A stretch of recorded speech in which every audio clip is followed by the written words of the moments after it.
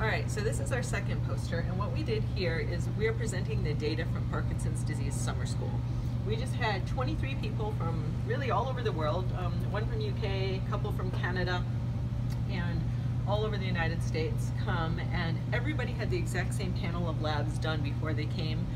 So this was a great way to cast a wide net and kind of see what's worth following up on in terms of um, individualizing patient care and having a scientifically sound reason to go looking for X, Y, and Z. We wanted to see um, where where are we finding the most abnormal results so that we can target our treatment a little bit more. Maybe not everyone needs fish oil, maybe not everyone needs B vitamins.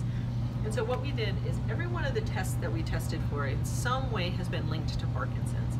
And so what we did is we took um, people, you can see wherever it's red, you can see where where the most people had abnormal values. And um, small intestinal bacterial overgrowth, this, this version of intestinal abnormal bacterial growth is really, really common. That was 90% of people had some um, SIBO is what it's called. We had a lot of people have um, urinary indican is a measure of putrefaction in the gut, kind of a gross word, um, but it, um, it, it's you can have an abnormal indican either with bacterial overgrowth or with um, poor metabolism of protein in the intestines. A lot of people, 73% of people had elevated homocysteine, which is um, often raised by levodopa and easy, easy to bring down with B vitamins. And the higher your homocysteine, the more likely you are to develop dementia.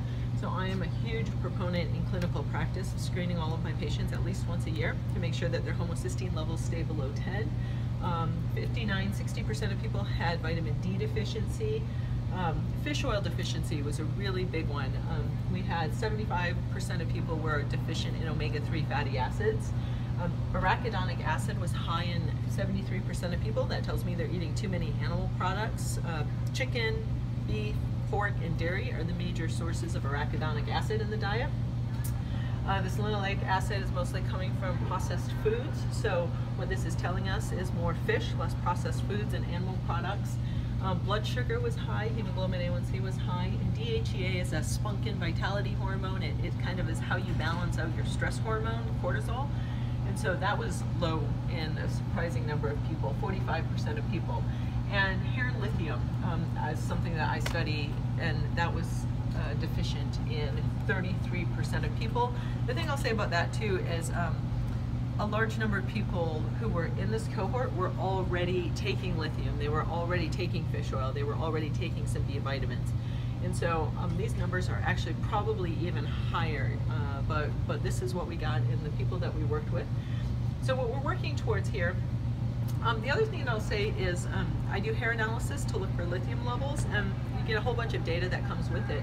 And we did not go looking for manganese toxicity, but we found two of our 23 people had elevated manganese on hair. We've since followed that up with blood and urine, and sure enough, um, their manganese levels certainly are high. And so now that calls into question what is the role of elevated manganese in this person's diagnosis? Do they have manganism instead of Parkinson's? Is manganese somehow contributing? Is it just a coincidental, unrelated finding? And so you can see how casting this wide net using available tools that we already have might be a kind of a lucrative way to to find the path to targeted treatment. Um, you know, this is um, this personalized medicine idea where where you can see too that that patients are really different. You know, this person, you know, this this person just doesn't need B vitamins. So, you know, you can see the dangers in doing studies where we give everybody B vitamins or everybody um, tell, take everyone off wheat, you know, or we just didn't need it. Um, it is interesting, not a single person in the study was allergic to wheat, had celiac disease. That's something that we talk about a lot. Two of the 23 people were positive for H. pylori, which could cause all kinds of intestinal inflammation.